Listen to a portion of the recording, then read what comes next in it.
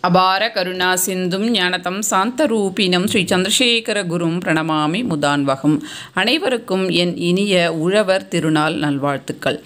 உழவர்கள் இல்லை அப்படின்னு சொன்னால் நாம் வந்து சாப்பிடவே முடியாது. உழவர்களுக்கு மரியாதை செலுத்தும் விதமாகவும் அவர்களுக்கு உதவி செய்கின்ற கோமாதாவிற்கு மரியாதை செலுத்தும் விதமாகவும் வருடத்திற்கு ஒரு நாள் மாட்டுப்பொங்கல் என்பதை நாம் கொண்டாடுகின்றோம். இந்த மாட்டுப்பொங்கல் என்பது கிராமப்புறங்களில் மிகவும் சிறப்பாக கொண்டாடுவாங்க. அந்த கொண்டாட்டத்தை பார்ப்பதற்கு நமக்கு கண்கள் கோடி வேண்டும்.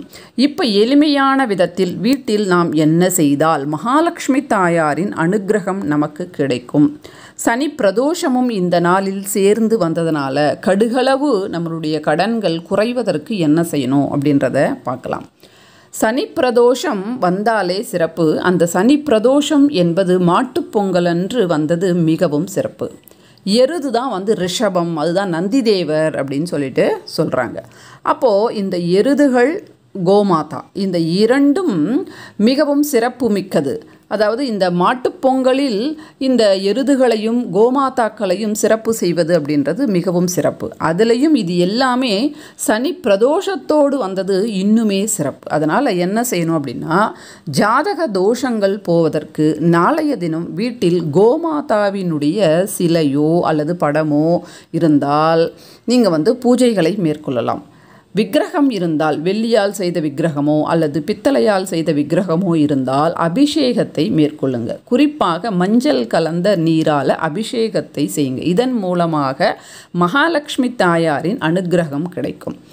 மஞ்சள் கலந்த நீரால் அபிஷேகம் செய்யுங்க. மற்ற அபிஷேகங்கள் எல்லாத்தையுமே கூட செய்யலாம். செய்து முடிச்சுட்டு இரண்டு நெய் தீபங்களை ஏற்றி வைத்து வாசனை மிகுந்த பூக்களால் ஓம் சுரபியை நமஹா அப்படின்ற நாமத்தை ஓம் சுரபியை நமஹா அப்படின்ற நாமத்தை பதினொன்று இருபத்தி ஒன்று உங்களுடைய விருப்பம் போல் நீங்கள் வந்து சொல்லி அர்ச்சனை செய்து ஏதாவது ஸ்வீட்டு நைவேத்தியமாக சமர்ப்பணம் செய்து தூபதீப ஆராதனைகள் காட்டி நம்முடைய அந்த கோமாதா வழிபாட்டை நிறைவு செய்துக்கலாம். இது வந்து எளிமையான விதம். நிறைய வீடுகளில் பார்த்தீங்க அப்படின்னா தைப்பொங்கல் என்று பொங்கல் வைக்க மாட்டாங்க.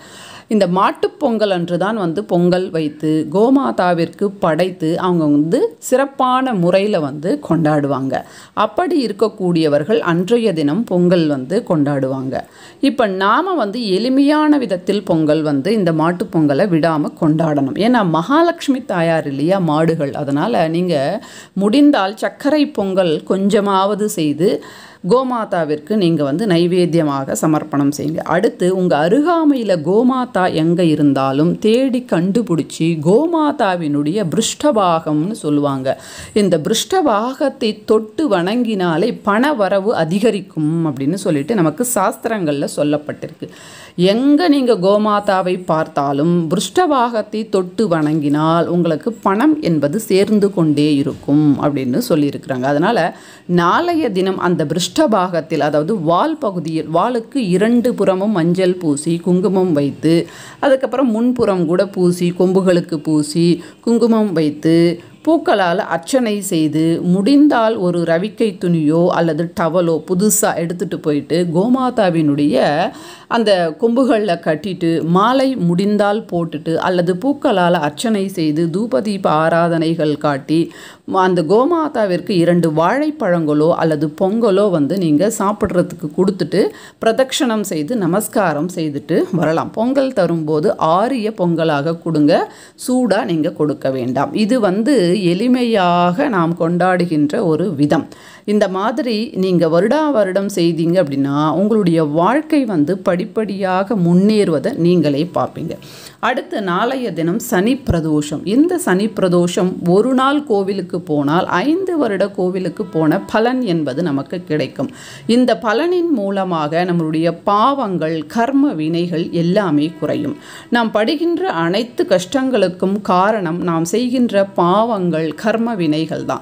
அப்போ கர்ம வினைகள் குறைகின்ற இந்த நாளை தவற விடாமல் கோவிலுக்கு சென்று வழிபாடுகளை மேற்கொள்ளணும். என்ன செய்யணும்? இந்த நாலரையிலிருந்து ஆறு மணிக்குள்ள ஆலய தரிசனம் செய்து இரண்டு நல்லெண்ணெய் தீபங்களை ஏற்றி வைத்து நீங்கள் தரிசனம் செய்துட்டு வந்தாலே போதும். ஏன்னா நிறைய பண்டிகைகள் போகி பொங்கல் அதுக்கப்புறம் மாட்டுப்பொங்கல் இது எல்லாம் வரிசையாக வரதுனால மறுபடியும் சனி பிரதோஷத்தை நாம் கொண்டாடணுமா அப்படின்ற ஒரு கேள்வியும் வரும். நமக்கு உடல்நிலையும் கொஞ்சம் கஷ்டமாக இருக்கும் அதாவது தினம் தினம் வேலைகள் செய்ததனால் ஆலய தரிசனம் மட்டுமாவது செய்து தீபங்கள் ஏற்றி வைத்து உங்களுடைய கடன்கள் எவ்வளவு இருக்கோ அது எல்லாத்தையும் ஈஸ்வரர்கிட்ட நந்தி தேவர்கிட்ட சொல்லிட்டு வாங்க. மலையளவு இருக்கின்ற கடனும் கடுகளவாக குறைவதற்கு வாய்ப்புகள் என்பது ஏற்படும். ஏன்னா மிகவும் சிறந்த நாள். இந்த மாதிரி கூடுவது அப்படின்றது மிகவும் கஷ்டம். சனி பிரதோஷம் என்பதே வருடத்திற்கு மூன்று முறையோ அல்லது இரண்டு முறையோ தான் வரும். இந்த வருடத்தில் முதல் சனி பிரதோஷம் வேற. அதுவும் மாட்டுப் பொங்கலோடு சேர்ந்து வந்திருக்கு இன்னுமே விசேஷம். அதனால் இந்த நாளை தவற விடாமல்